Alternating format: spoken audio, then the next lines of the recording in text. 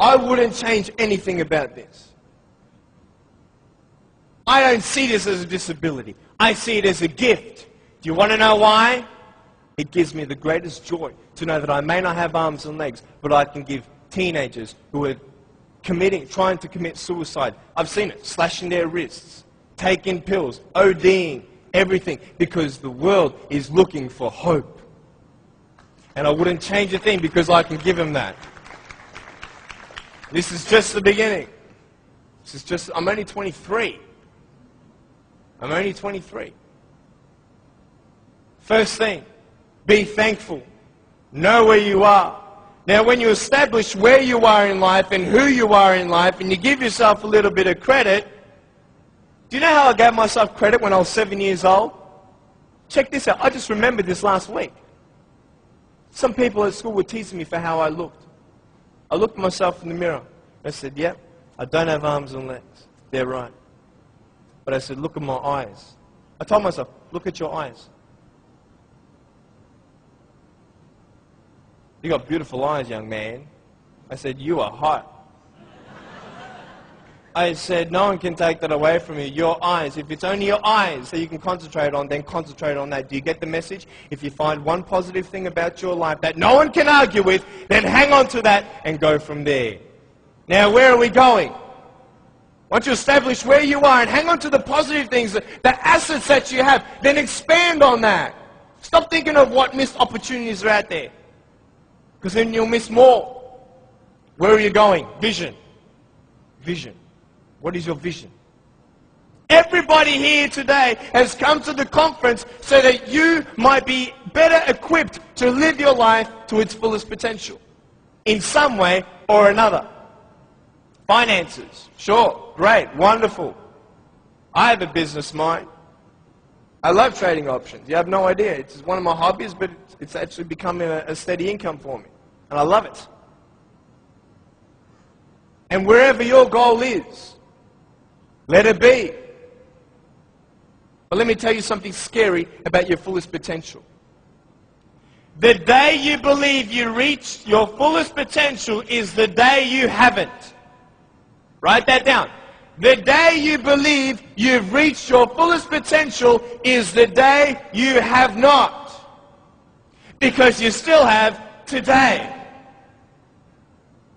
You and I know that we can make choices to either better our life or put our life in a worse position. Where are you going? Is it big?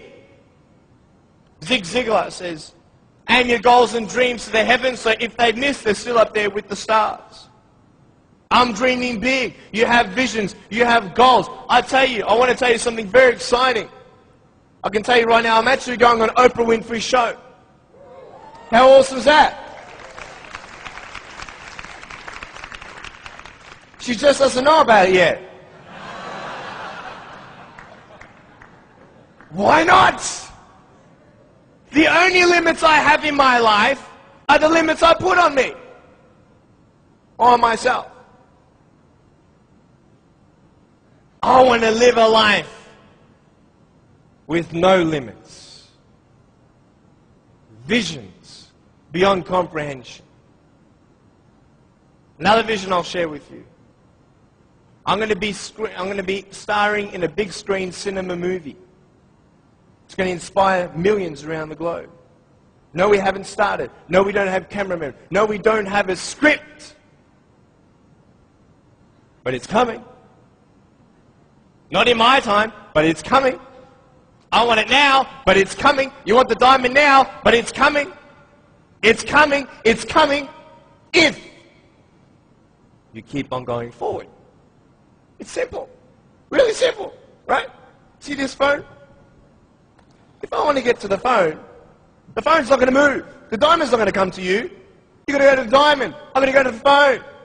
It's going to come as long as I keep on moving forward in baby steps.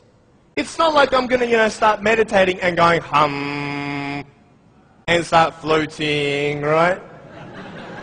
and then go across. No, I've got to go one step at a time, one step at a time, one step at a time. Vision. Reaching your fullest potential. That's what I want. Isn't that what you want? Yes. Yes. But how lazy are we? How lazy are we? I'll tell you, I got the biggest vision. I'm writing a book called No Arms, No Legs, No Worries. I love that title.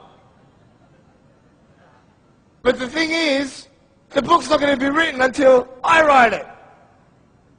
Does that make sense? I have to write it. But not yet.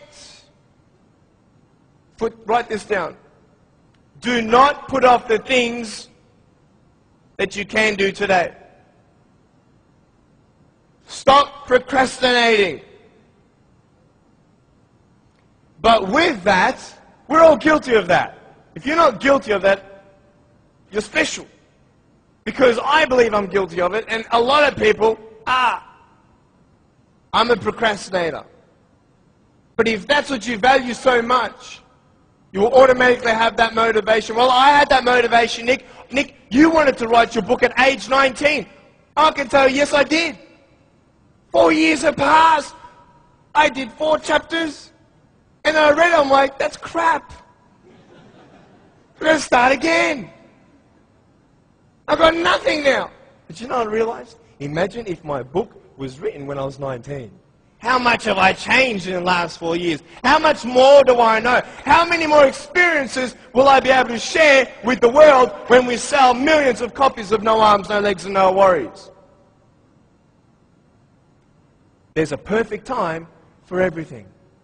Not now, but it's coming. Perspective, vision, and choices.